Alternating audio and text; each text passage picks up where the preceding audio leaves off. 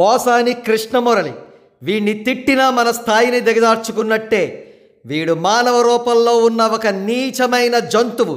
అందుకే వీణ్ణి తిట్టడం కాదు వీణ్ణి తిట్టిన తల్లిదండ్రులకు గడ్డి పెట్టాలి.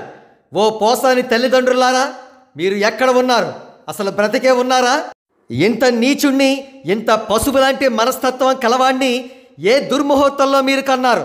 వీడు ప్రెస్ మీట్లు పెట్టి ఆడవాళ్ళని ఎంత అసహ్యకరంగా ఎంత నీచాతి నీచంగా వాగుతున్నాడో మీకు తెలుసా?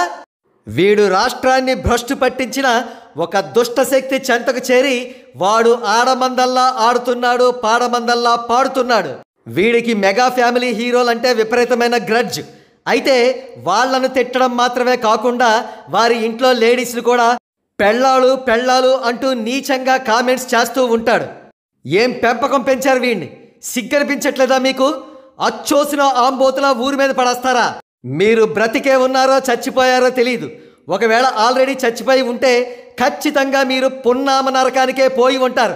ఎందుకంటే ఇంత నీచ నికృష్టుని కన్నారు కాబట్టి. ఒకవేళ బ్రతికే ఉంటే మీ పాపాన్ని సరిదిద్దుకోవడానికి మీకు ఇంకా అవకాశం ఉంది. వాడికి ఎటువంటి శిక్ష విధిస్తారో విధించండి. ఇక చివరిగా పోసాని గాడికి ఓ మాట. ఒరే పోసాని నిన్ను ఎన్ని తిట్టినా నువ్వు దులిపేసుకుపోయే రకానమని తెలుసు కానీ కనీసం ఇప్పుడన్నా సిగ్గుపడరా కనీసం ఇప్పుడన్నా బెక్క చచ్చిపోరా.